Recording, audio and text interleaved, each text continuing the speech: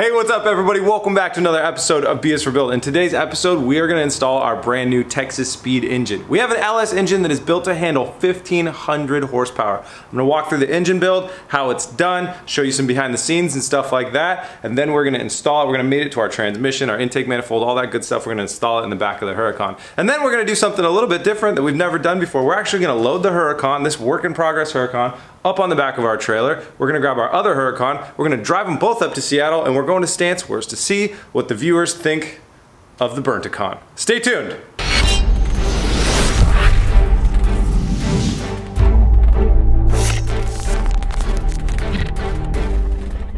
All right, so getting started, let me tell you a little bit about this LS engine. So it comes from Texas Speed. Uh, they're a huge sponsor of this build. We did not want to build, you know, an LS swapped Huracan and not just go for the best engine that we possibly could put in it. If you're taking out a Lamborghini engine, it's pretty it's pretty high bar that's already been set, so we wanted to put something super awesome in there. And that's exactly what Texas Speed built us here. So if you guys weren't watching on Instagram, we posted a lot of really cool behind the scenes, but it all started with quite a fiasco.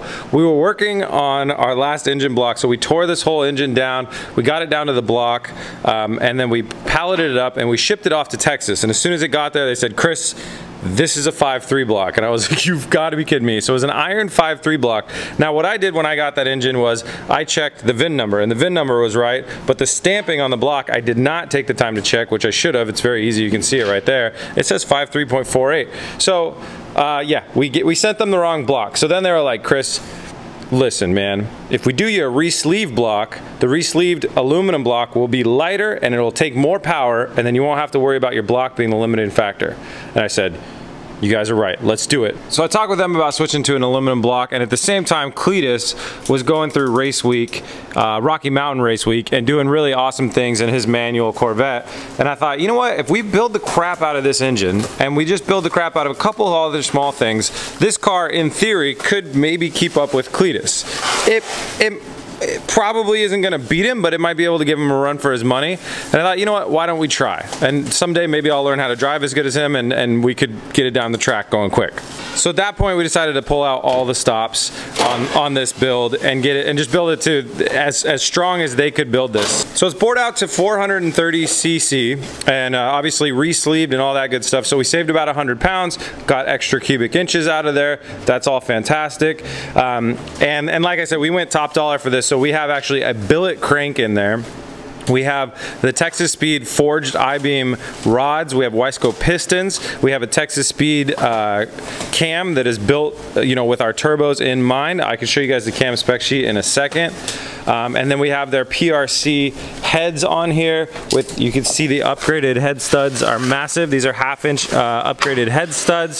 So we went all out on this thing and it should be good to handle 1500 horsepower when we throw it at it. So then after that, we upgraded our clutch as well. Our transmission's good for around a thousand, so hopefully we won't blow that up on the first day.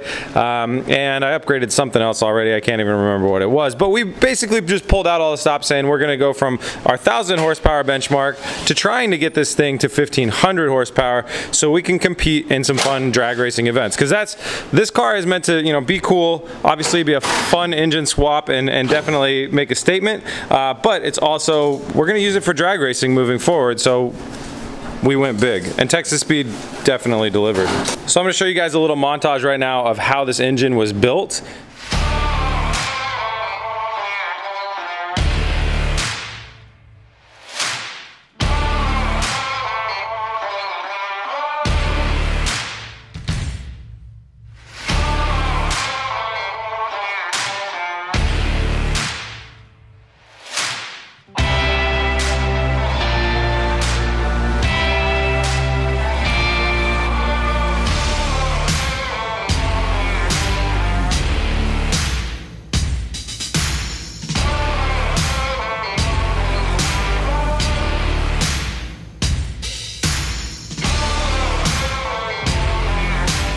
And all that footage came off of a full episode that Texas Speed actually did about building this engine. So that's just a little teaser. There's a lot more in there. If you want to know the specifics, the details about this engine and, watch the creation process, I urge you, go watch that full video. The link is in the description. And always guys, if you need performance parts, if you're into this type of stuff, look no further than Texas Speed. A link to their website will be in the description as well.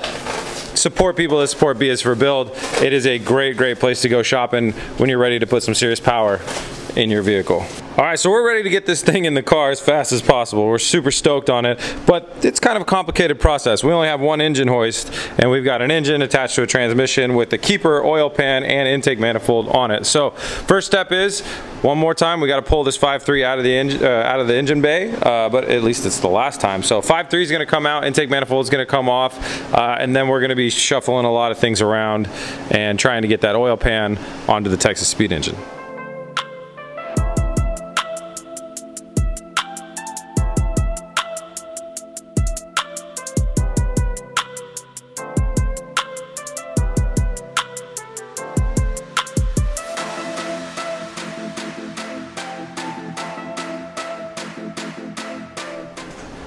We got the engine completely disconnected, broken down. Our intake manifold is on the bench over there. And now it's time to harvest the oil pan. So we are gonna uh, go from the outside very carefully, not putting our body underneath this because that's obviously pretty sketch. And we're gonna pull the oil pan and the oil pickup tube. And then we're gonna go over to our Texas Speed engine and install it over there.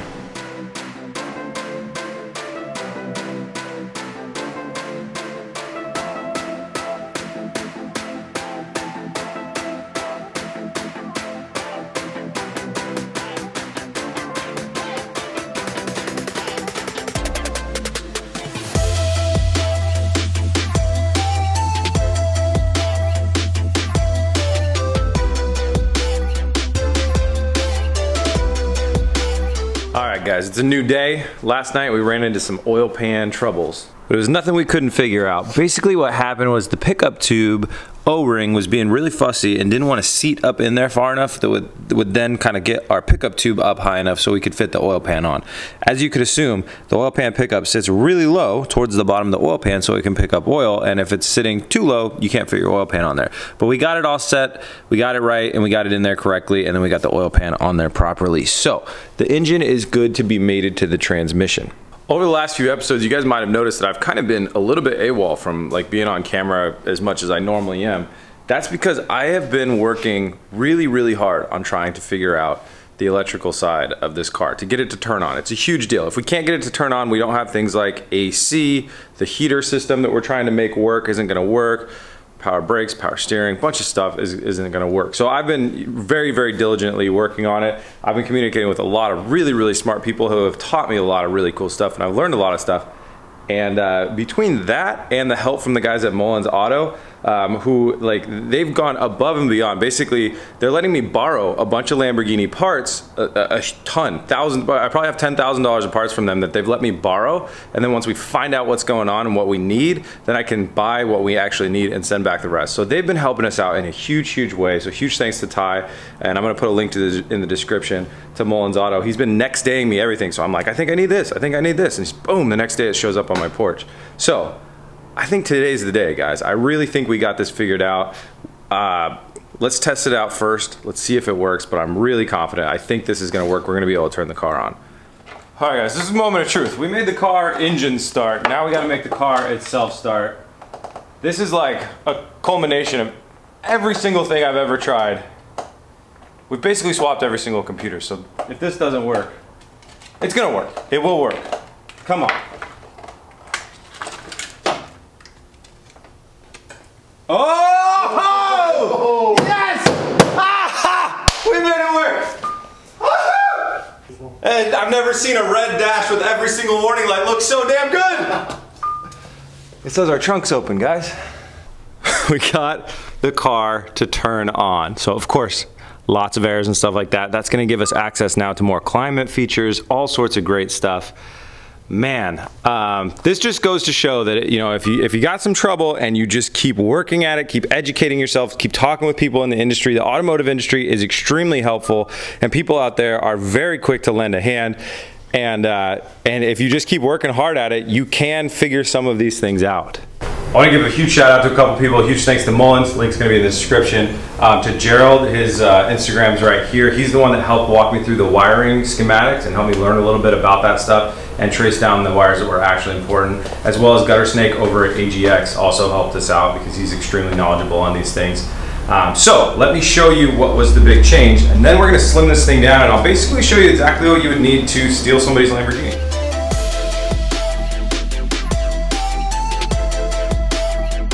After a little bit of swift swapping with our original parts, going back and forth, I found out the minimum stuff that you need to turn on a Huracan as far as the keys are concerned. So now uh, this could be used to just hotwire Huracan if you really wanted to, but you know, but uh, more for anybody that's working on maybe a salvage one that needs to know how to turn it on. You need a key that's paired to a BCM2, which is the one that like lives right back there behind the seats. It's also paired to this little steering wheel control module. Uh, it's not a steering wheel control module, it's a steering wheel lock module. So other things like the center computer's there, the gauge cluster, the ECUs, they don't matter. We don't, we don't have any ECUs plugged in. The gauge cluster's from a totally different car. This is our original gauge cluster. Those things don't matter. So uh, my theory is, I'm not 100% sure, but my theory is if you jumped into a car, brought your own key, your own BCM2 and your own little steering wheel thing, you plugged them all in, you could probably start it up and drive away with it.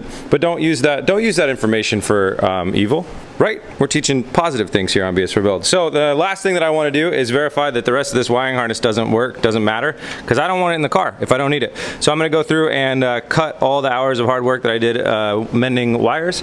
Uh, I'm going to cut the looms off and uh, we'll start up one more time and double check, verify.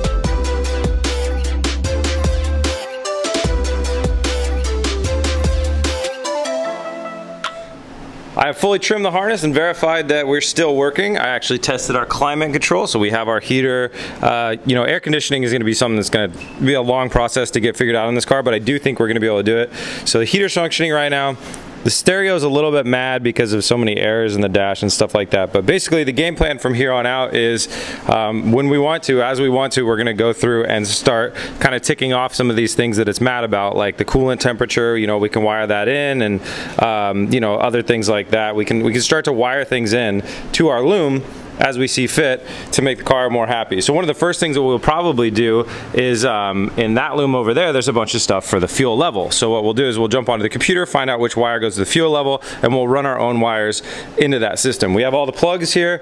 What we're gonna be doing really is just thinning it down because what we don't need is all the relays and all the fuses that are related to powering the Lamborghini engine. We have all of our relays and all of our fuses managing uh, through our Haltech right there. So we don't need to worry about it. So this is a huge win, guys.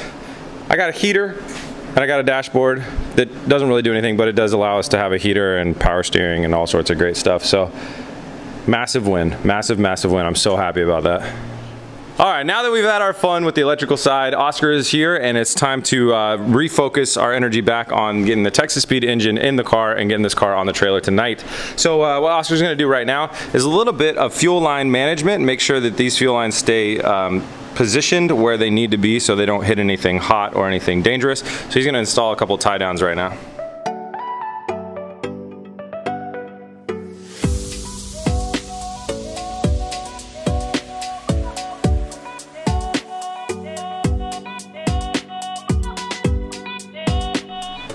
Look at those fuel lines and how professional they look. That's our fuel lines routed.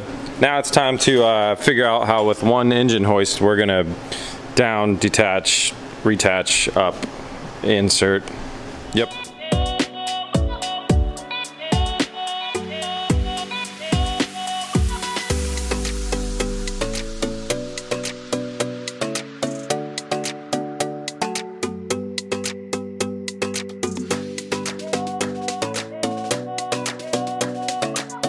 Our Gallardo uh, transaxle off of the Junkyard 5.3 and we took our flywheel and you probably saw one of the rare times that we use an actual torque wrench on B is for build because uh, don't want to do anything to harm our beautiful Texas Speed engine. So we are tor we torqued uh, all the bolts down to spec and we'll continue doing that with the rest of the clutch assembly. And right now Oscar is going to mark our bolts so we know if anything is backing out.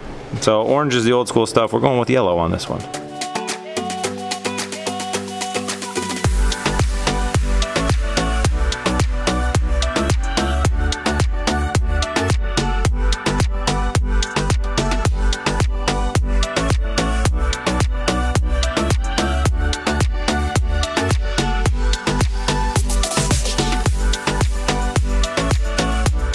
Got the transaxle bolted up to the engine. Uh, this is our second or third time doing this and we did a lot better this time. Also, this is being a fourth gen engine, I think this is a little bit more built around the fourth gen. So it's a pretty smooth application. So that's on. Now we got to change our rigging up so we can get to the front over there and, uh, and then we're gonna move it and throw it into the car for the first time. If anybody wants to know uh, what music we're listening to to set the mood, it's definitely the uh, Tokyo Drift soundtrack.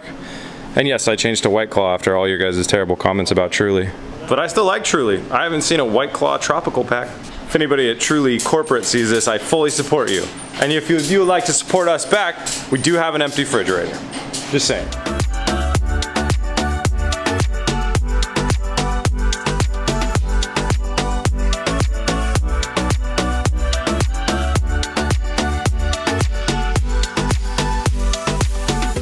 Ran into a little bit of a hiccup in the engine bay, but this is something that we had kind of planned for already. So our Texas Speed engine has, we have kind of our main crank uh, bolt in there already, and we got to put on our balancer and run our belts and stuff soon off of there. So it sticks out a little bit further. So we need to clearance it on the back here. So through the whole center rail of the car going right, right through down there, you have this kind of carbon fiber beam thing, and we're gonna shorten that by about an inch and a half.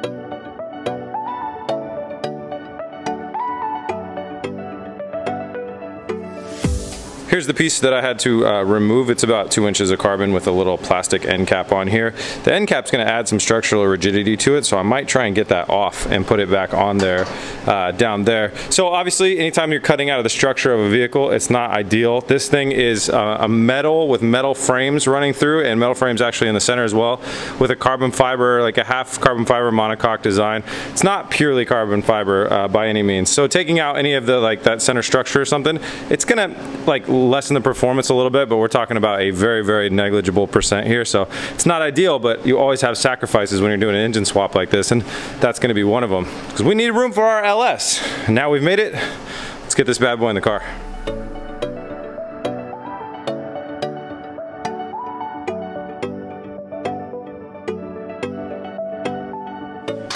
We are in. We got the engine installed. We're gonna tighten up the mounts a little bit and then we're gonna bring it down. It's gonna make it a little bit easier to run the wiring.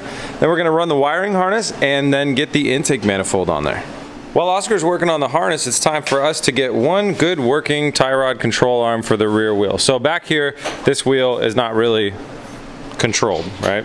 It's uh, It changes your toe in and out, and uh, it's kind of weird, but these two, for some reason, are longer than this one that came off of the car. And we don't know why. We don't know if it's a different model type of thing or what it is, but it's very, very strange. So we have a working end that connects to the car with a nice little ball joint here.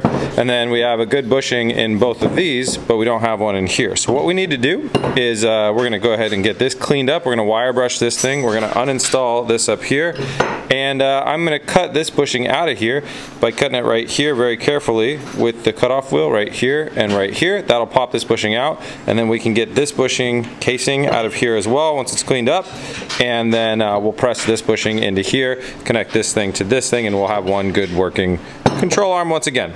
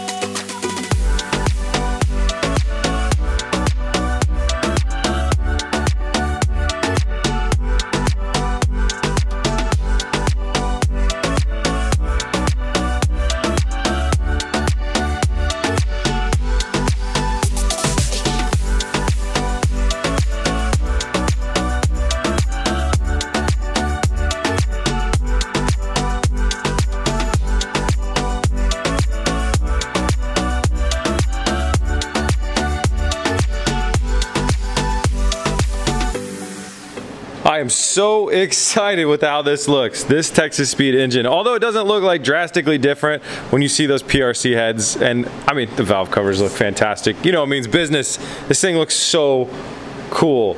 Oscar's just wrapping up um, getting the uh, what did I call those in the last episode? Injector packs. Everybody's making fun of me. The ignition coils, guys. I know what they're called. It's there's a lot of stuff going on in my brain, and sometimes the right words don't come out. Anyways, he's getting those mounted in there, but we don't actually have the right spark plugs for the engine, so we're not going to run the coils up into the spark plug at this point. We're just going to leave them as they are. We're not going to put junk spark plugs in this engine for no reason. Uh, so that's happening. We got all the engine or the wiring and everything cleaned out of here. That's all set, and uh, that's ready to roll. So Kyle and I are now going to move to the inside and the front and we're just tidying up some wiring so we feel safer about it rolling around because uh, we got to roll it into the show and onto the trailer and stuff like that. We don't want any of this wiring mess uh, becoming chaotic. So we're going to zip tie the crap out of everything.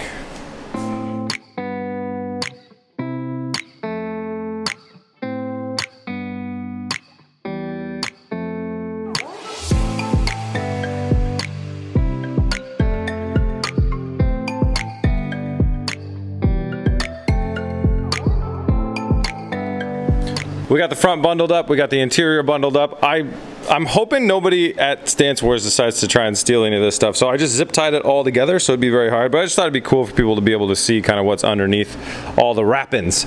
So uh, now we got to go ahead and put our rear control arm on uh, this passenger side, rear, driver side rear wheel. So we're to get the car up in the air, get that on there, tighten down some lug nuts in the front and stuff like that. And we should be ready to roll it out to the trailer.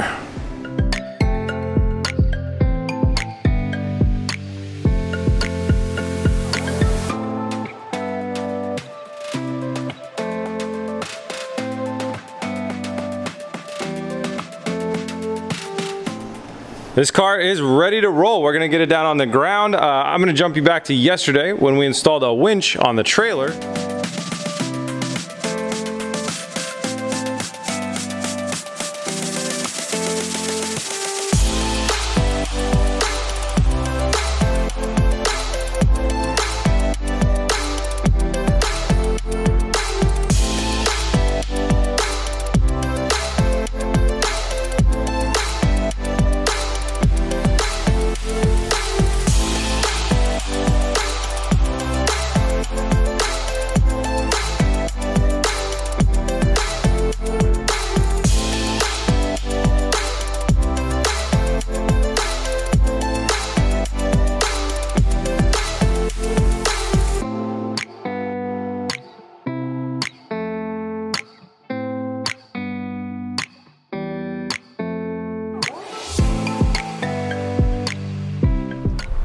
Cameras don't work great at night, but we got this thing right next to the trailer and uh, we're gonna winch it up for the first time. This is exciting.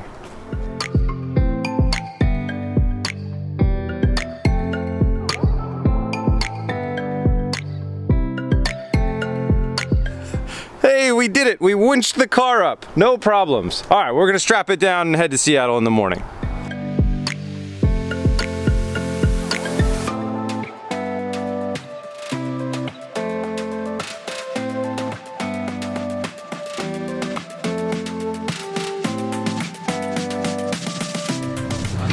We made it. We made it. We're at Stance Wars in Bellevue. Uh, we have got to get our stuff like uh, up, so there's a curb here and then we got this little grass spot which is pretty cool. So we got this whole spot to ourselves uh, to divide amongst us evenly. TJ's car is right over there looking good. Uh, so we gotta like drive over a curb. There's Sabrina. Hi Sabrina. So uh, yeah we gotta we gotta hop a couple Lambos over some curbs and then we get them parked in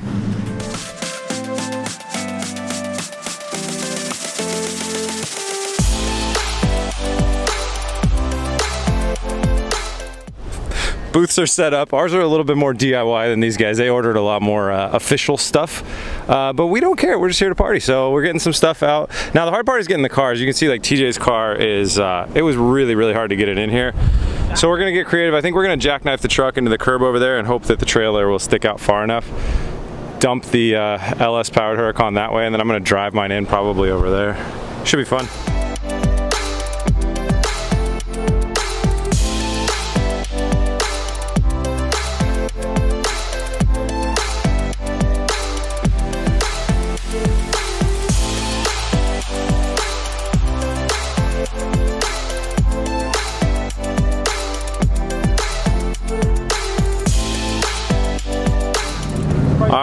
Are all lined up. Everything's ready to roll. People are coming in. Now we're just gonna hang out and say hi to people. Should be fun.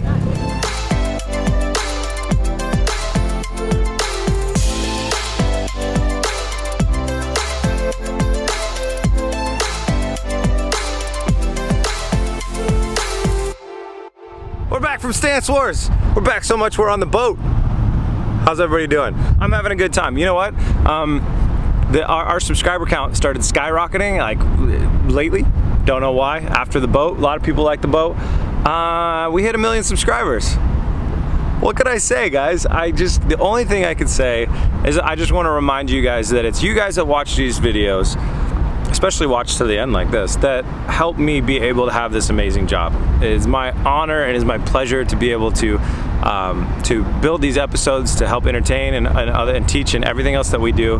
But I just want to say thank you guys so much because I I have a life right now that I could have only dreamed of. I'm literally staring at that's my old office right over there, um, and to not to not be doing that anymore and to be doing this and to, to have a, uh, a history over the, we're, we're, four years, the channel is four years old in two weeks. So basically in the last four years, we have built some stuff that I'm extremely proud of. And building stuff that you're proud of is a really, really good feeling. And I recommend it to anybody if, if you're, anyways. So I'm extremely proud of that. And uh, that is made possible by you guys watching, by you guys watching the show and supporting the show. That's what makes it all possible. So all I have to say about a million is it wouldn't have been possible without you guys. And thank you guys so much. Thank you so much. Um, I had such a fun time at Stance Wars. Thanks to everybody that came out. I met my uh, my littlest, biggest fan, Isabella. Shout out to Isabella. Uh, it was so much fun to meet her. But you know, I just had a great time meeting everybody, and it was so much fun. So thank you guys all that came out, um, and huge thanks to Texas Speed for the engine sponsorship. Everybody loved it at the show, and I can't wait to show people what that thing can do, how it can put the power down. You know, we upped the the power. We started at a goal of 1,000. We're now at 1,500. We're building everything to handle 1,500 and this car is going to hit 1500 which is going to be so much fun.